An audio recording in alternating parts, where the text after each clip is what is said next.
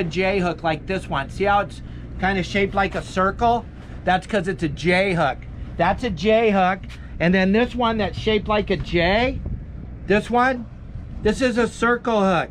See how it's shaped like a J? That's a circle hook. This is a J hook.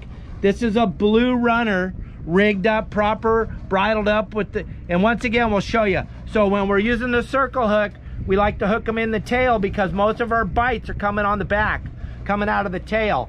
So we run it like that and we put it back behind the boat. And when we're trolling these behind the boat, we like to troll them at like 15, 18 knots, hooked in the tail.